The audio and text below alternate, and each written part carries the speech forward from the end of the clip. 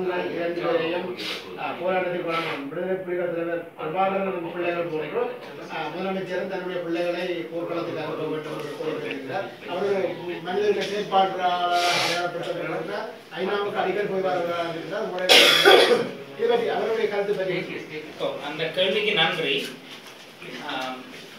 எழுக தமிழ் பேரணியில் தமிழ் சிவில் சமூக அமையும் அதற்கு ஆதரவு அளித்திருந்தது பங்கு பெற்றிருந்தது. அந்த பேரணியிலே உங்களுக்கு தெரியும் பல் தனித்தனியாக நடைபெற்று வந்த பல போராட்டங்களுடைய சங்கமமாக நாங்கள் அதனை பார்க்கின்றோம். காணாமல் போன உறவுகள் தனியாக போராடி வந்தார்கள். அரசியல் கைதிகளுடைய குடும்பங்கள் தனியாக போராடி வந்தார்கள். காணிகளை இழந்த மக்கள் ஆங்காங்கே தனியாக போராடி வந்தார்கள். இப்படியாக பல போராட்டங்கள் நடைபெறுகிறது. அந்த போராட்டத்திலே நீங்கள் காணாமல் போன உறவுகள் அமைப்புகளை கண்டிருப்பீர்கள். அரசியல் கைதிகளுடைய குடும்பங்களைச் சேர்ந்த உறுப்பினர்களை கண்டிருப்பீர்கள் காணி இழந்த குறிப்பாக வெளிவடக்கில் காணி இழந்த மக்கள் அந்த போராட்டத்தில் இணைந்து கொண்டார்கள். அந்த அந்த வடக்கு கிழக்கில் போ யுத்தத்துக்கு பின்னர் நடந்த பல்வேறு போராட்டங்களுடைய ஒரு ஒன்றிணைப்பாக ஒரு சங்கமமாக எழுக தமிழ் பேரணி நடந்து முடிந்தது. எழுக தமிழ் பேரணியை யார் செய்தார்கள் எதற்கு செய்தார்கள் என்ற அரசியலை பற்றி கதைக்க விரும்புகிறார்கள் அதை கதைக்கட்டும். ஆனால் அதில் கூடிய மக்களை பார்க்கும் பொழுது யாருக்குமே தெரியக்கூடிய விஷயம். இது பல்வேறு ரீதியாக தொடர்ந்து மக்கள் போராட்டங்களில் ஈடுபட்டவர்களால் அதிலே ஒன்றிணைக்கின்றார்கள் என்றது. என்ற முக்கிய செய்தி அதில் வருகிறது. அது தொடர்ச்சியாக நிலைமாறு கால நீதியாக இருக்கலாம் அல்லது அரசியலமைப்பாக்கு முயற்சியாக இருக்கலாம். அந்த ரெண்டுலேயுமே மக்கள் ஒதுக்கப்பட்டார் இப்போ நிமல்கா பெர்னாண்டோ உட்பட தெற்கில் இருப்பவர்கள் எழுத தமிழ் பேரணியையும் சரி முதலமைச்சர் ஆற்றிய உரையையும் சரி ஒரு தீவிரவாத போக்குடையதாக சித்தரிக்க விரும்புகிறார்கள். அதற்கான காரணம் என்னவென்றால் நிமல்கா பெர்னாண்டோ உட்பட இதை நான் மிகுந்த கவலையோடு சொல்றேன்.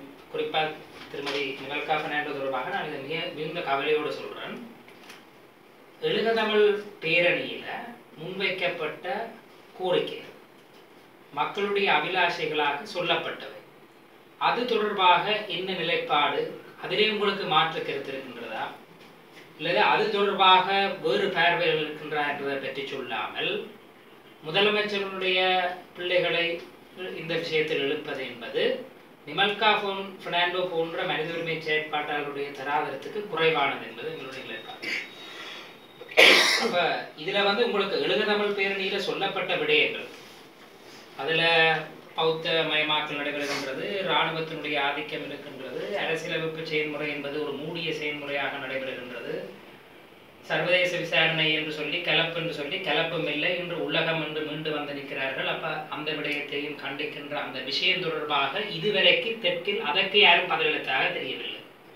தொடர்ச்சியாக முதலமைச்சரை ஒரு தீவிரவாதியாக காட்டுவதும் அவரை அரசியல் பரப்பிலிருந்து ஊரங்கட்டுகின்றது அல்லது விளிம்பு நிலைக்கு தள்ளுகின்ற ஒரு முயற்சி தான் நடைபெறுகிறது.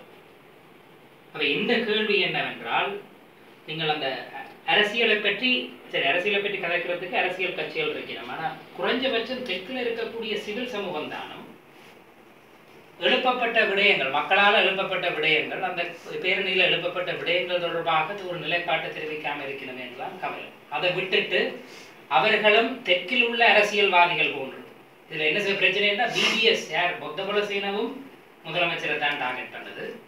நிமல்கா பெர்னாண்டோவும் முதலமைச்சரை தான் டார்கெட் பண்ணால் உண்மையிலே மிகப்பெரிய கவலை வருது தெற்கின்ற அரசியல் எப்படி போய்கொண்டிருக்கும் எங்களுக்கு தெரியும் பொத்தபல சேனாவை பற்றி எங்களுக்கு தெரியும் ஸ்ரீலங்கா சுதந்திர கட்சியை பற்றி ஐக்கிய தேசிய கட்சியை பற்றி.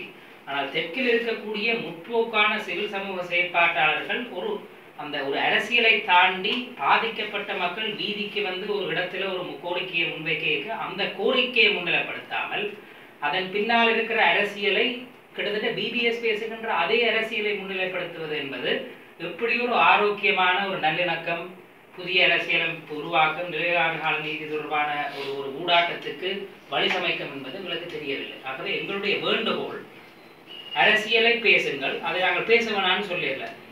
யார் அதுக்கு பின்னால் நின்றார்கள் அவர்களுடைய நோக்கம் என்ன? தாராளமாக பேசுங்கள். ஆனால் அந்த அந்த பேரணியிலே உங்களுக்கு தெரியும் ஊடகவியலாளர் பங்கு பெற்றீர்கள் மக்கள் பாதிக்கப்பட்ட மக்கள் பங்கு பெற்றார்கள் அந்த அந்த அந்த கோரிக்கைகளை முன்வைத்தார். அந்த கோரிக்கைகளுக்கு என்ன பதில்? அந்த கோரிக்கைகள் முக்கியமானவை இல்லையா? இதற்கு தெற்கில் உள்ள சிவில் சமூக செயற்பாட்டாளர்களாவது பதில் சொல்ல வேண்டும். எங்கிருந்து வருகின்ற அமைதி? அரசாங்கம் இந்த பேரணிக்கு எதிராக இருப்பதோ அல்லது சில அரசியல் கட்சிகள் தெற்குள்ள வேறு இடங்கள் இருப்பதோ எங்களுக்கு ஆச்சரியத்தை தெரியல எங்களுக்கு இதுவும் எங்களுக்குமே ஆச்சரியம் இல்லை. ஆனால் பெரிய கவலை என்னென்றால் தங்களை முற்போக்காளர்களாக தாங்களும் நிலைவார கால நீதியில் புதிய அரசியலமைப்பில் தமிழர்களுக்கு தீர்வு கிடைக்க வேண்டியதில் தங்களுக்கும் உண்மையான பங்களிப்பு என்று சொல்றத கூட எல்லாருமாக ஓரணியில் நின்று கொண்டு இதில் முதலமைச்சர் விக்னேஸ்வரனை மட்டும் தனிமைப்படுத்தி அவரை வந்து தாக்குறதுன்றது தான் எங்களுக்கு மிகப்பெரிய கவலை